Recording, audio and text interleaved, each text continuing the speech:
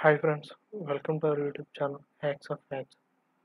So today we are going to discuss about frequency response of a low pass filter. Okay, for that we are going to design a low pass filter circuit. So go to place and component and then here basic and resistor take 1k resistor click ok and place the resistor here and go to capacitor. So here search for 100 nano.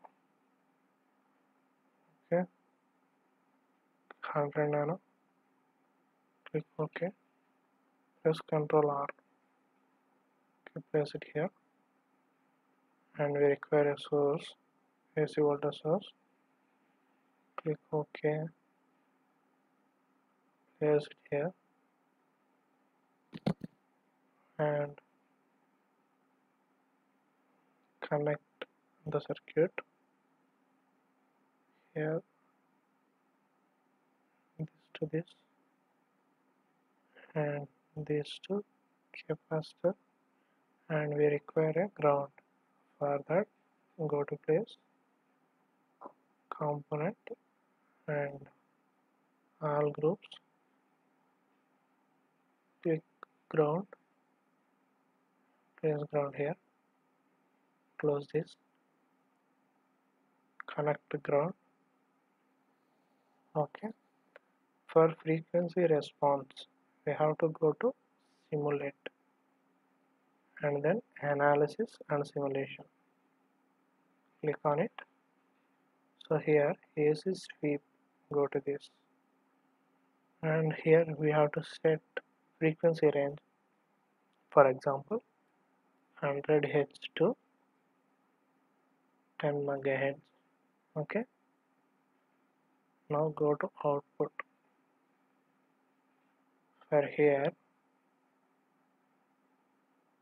we have to select the voltage V2 which is at here. Okay. Add this and click on run. Okay. So maximize this screen. This is the frequency uh, response of a low pass filter. At lower frequencies the gain is more. At higher frequencies the gain is less this is the phase response. Phase response of the low pass filter. So for better understanding we have to make it as grid okay? So we can calculate uh, minus 3 dB. For example yeah here it is 998 uh, let it take 1 and at 700 minus 3 dB means at 700 700 we get cutoff frequency. Cutoff frequency. Where it will become 700 200 I mean 700 700 700 700 yeah.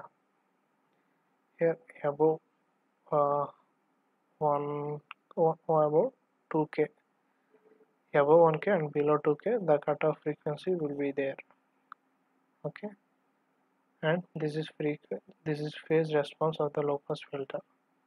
And this is frequency response of the low pass filter. Thanks for watching.